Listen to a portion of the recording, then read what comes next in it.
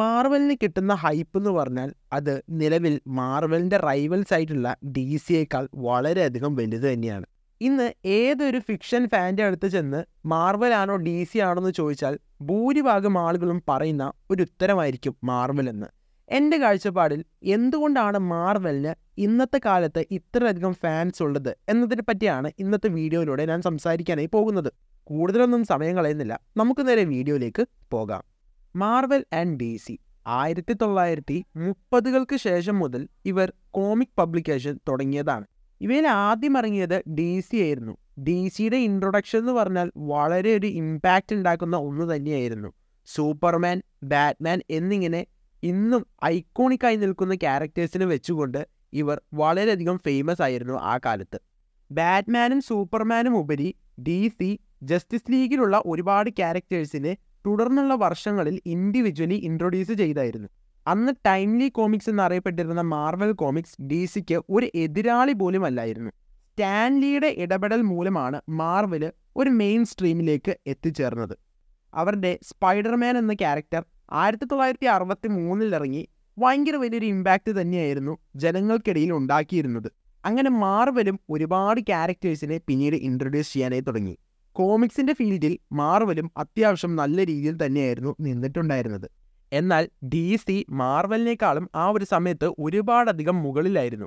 കാരണം ആ ഒരു സമയത്ത് തന്നെ ഡി സിക്ക് ഒരുപാടധികം അവരുടെ കോമിക്സുകളെ സംബന്ധിച്ചുള്ള ലൈവ് ആക്ഷൻസ് എടുക്കാൻ സാധിച്ചിട്ടുണ്ടായിരുന്നു. മീൻ വൈൽ മാർവലിന്റെ അന്നത്തെ ലൈവ് ആക്ഷൻ സിനിമകളൊക്കെ എടുത്ത് നോക്കുകയാണെങ്കിൽ ലോ ബഡ്ജറ്റ് കോസ്പ്ലേയേഴ്സിനെ ഉപയോഗിച്ചെടുത്ത പോലെ ഫീൽ ചെയ്യും. രണ്ടായിരങ്ങൾക്കടുത്തപ്പോൾ മാർവലിന് വലിയ വലിയ പണികൾ കിട്ടാൻ തുടങ്ങി. അതായത് ബാങ്ക്രപ്റ്റും ഡെപ്റ്റൊക്കെ മൂലം തന്നെ അവർക്ക് അവരുടെ മേജർ ക്യാരക്ടേഴ്സിന്റെ റൈറ്റ്സ് മറ്റു കമ്പനികൾക്ക് വിൽക്കേണ്ടതായി വന്നു. ഈ ഒരു സമയത്ത് ഇവരുടെ ഓഡിയൻസിനിടയിൽ വലിയ രീതിയിലുള്ള ഒരു എവല്യൂഷൻ നടക്കുന്നുണ്ടായിരുന്നു എന്നുള്ള കാര്യം കൊണ്ട് ശ്രദ്ധിക്കേണ്ടതായിട്ടുണ്ട്. ആയിരത്തി തൊള്ളായിരത്തി മുപ്പത് നാൽപ്പത് അൻപത് അറുപത് എന്നീ വർഷങ്ങളൊക്കെ എടുത്ത് നോക്കുകയാണെങ്കിൽ നമുക്ക് മനസ്സിലാക്കാൻ പറ്റുന്ന ഒരു കാര്യമുണ്ട്. അതായത് അന്ന് ടെക്നോളജിയും മൂവിയൊന്നും അത്ര വളർന്നിട്ടില്ല. സോ അന്നത്തെ കാലത്തുണ്ടായിരുന്നവർക്കുള്ള ഒരു എന്റർടൈൻമെന്റ് എന്ന് പറഞ്ഞാൽ ഈ പറഞ്ഞ കോമിക്സുകൾ തന്നെയായിരുന്നു. കോമിക്സുകൾ ഇന്നും വളരെ വലിയൊരു പ്രാധാന്യം വഹിക്കുന്നുണ്ടെങ്കിൽ പോലും മൂവി വാച്ചേഴ്സിന്റെ അത്രയും കോമിക് ബുക്ക് റീഡേഴ്സ് ഇന്നില്ല എന്നുള്ളൊരു വാസ്തവം നമുക്കറിയാവുന്നത് തന്നെയാണ്. സോ ഇങ്ങനത്തെ ഒരു സംഭവം എത്തിക്കൊണ്ടിരിക്കുന്ന ഒരു സമയമായിരുന്നു അത്. രണ്ടായിരത്തി രണ്ടിൽ സോണി അവർക്ക് ലഭിച്ച സ്പൈഡർമാന്റെ റൈറ്റ് ഉപയോഗിച്ചുകൊണ്ട് സ്പൈഡർമാന്റെ ഒരു ട്രയോളജി തന്നെ പുറത്തിറക്കുന്നു. ഇത് വൺ ഹിറ്റാകുന്നു ആളുകളിലേക്ക് മാർവൽ വീണ്ടും എത്തും. സ്പൈഡർമാൻ മാത്രമല്ല ട്വന്റിയത്ത് ഫോക്സ് എക്സ്മാനെ ഉപയോഗിച്ചുകൊണ്ട് ഒരുപാട് സിനിമകൾ പുറത്തിറക്കി മാർവലിനെ വീണ്ടും ആളുകളിലേക്ക് വളരെയധികം നന്നായി തന്നെ എത്തിച്ചിട്ടുണ്ടായിരുന്നു. ഇതിനിടയിൽ വിട്ടുകൊടുക്കാൻ തയ്യാറാവാത്ത ഡി സി ക്രിസ്റ്റഫർ നോളനെ ഉപയോഗിച്ചുകൊണ്ട് ബാറ്റ്മാന്റെ ഒരു വമ്പൻ ട്രയോളജി തന്നെ പുറത്തിറക്കിയിട്ടുണ്ടായിരുന്നു. ഏറ്റവും അധികം റേറ്റിംഗ് ലഭിച്ചിട്ടുള്ള സൂപ്പർ ഹീറോ മൂവി ആ ഒരു ട്രയോളജിയിലെ രണ്ടാമതായി ഇറങ്ങിയ സിനിമയായ ഡാർക്ക് നൈറ്റ് ആയിരുന്നു എന്നാൽ ഇവിടം മുതലാണ് കാര്യങ്ങളെല്ലാം മുഴുവൻ മാറി മറയാൻ തുടങ്ങുന്നത്. മാർവൽ അവരുടെ ക്യാരക്ടേഴ്സിനെ ഉപയോഗിച്ചുകൊണ്ട് ഒരു സിനിമാറ്റിക് യൂണിവേഴ്സ് ഉണ്ടാക്കാൻ തയ്യാറാകുന്നു. അങ്ങനെ രണ്ടായിരത്തി എട്ടിൽ അയൺമാനെ ഉപയോഗിച്ചുകൊണ്ട് മാർവൽ സിനിമാറ്റിക് യൂണിവേഴ്സ് അതായത് M C U kick off ചെയ്യുന്നു. ഡി സി എക്സ്റ്റെൻഡഡ് യൂണിവേഴ്സ് എന്ന് പറഞ്ഞുകൊണ്ട് ഒരു സിനിമാറ്റിക് യൂണിവേഴ്സ് ഡി സിയും തുടങ്ങിയിട്ടുണ്ടായിരുന്നു. എന്നാൽ കാര്യങ്ങളെല്ലാം അവർ വിചാരിച്ചതുപോലെ പോയിട്ടില്ലായിരുന്നു. അവരിറക്കുന്ന സിനിമകളെല്ലാം തന്നെ വലിയ വലിയ ഫ്ലോപ്പുകൾ അല്ലെങ്കിൽ ഫാൻസിന്റെ എക്സ്പെക്റ്റേഷൻ മീറ്റ് ചെയ്യാൻ പറ്റാതെ പോകുന്ന സിനിമകളൊക്കെ സിനിമകളൊക്കെയായി മാറിപ്പോയിട്ടുണ്ടായിരുന്നു വാർണർ ബ്രദേഴ്സ് ഏറ്റെടുത്തത് കൊണ്ടാണ് ഇങ്ങനെ ഒരു സംഭവം ഉണ്ടാകുന്നതെന്ന് പലരും പറയുന്നുണ്ടായിരുന്നു. എന്നാൽ മാർവലിന്റെ പീക്ക് ടൈം ഇവിടെയായിരുന്നു ആരംഭിക്കുന്നുണ്ടായിരുന്നത്.